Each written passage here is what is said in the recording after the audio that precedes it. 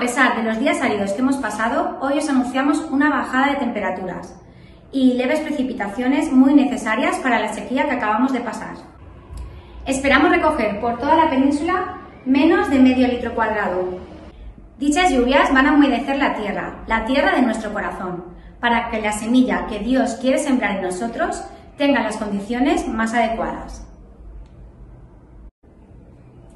Conectamos con Gijón para ver cómo tenemos allí la situación.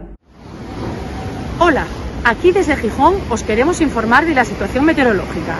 Como podéis observar, los cielos están cubiertos y el agua es constante, aunque nos ha dado una tregua desde hace unas horas. Hoy queremos hablar de esta lluvia temprana, que se llama aquí orvallo y es muy típica de esta zona.